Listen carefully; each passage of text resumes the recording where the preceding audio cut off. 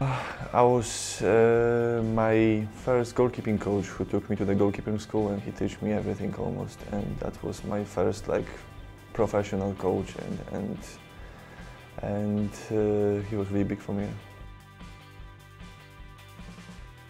I was few good moments.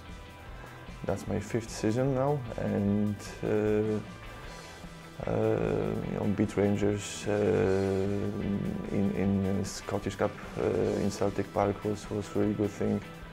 And, and uh, game in Ibrox, 10 men when we, when we drew.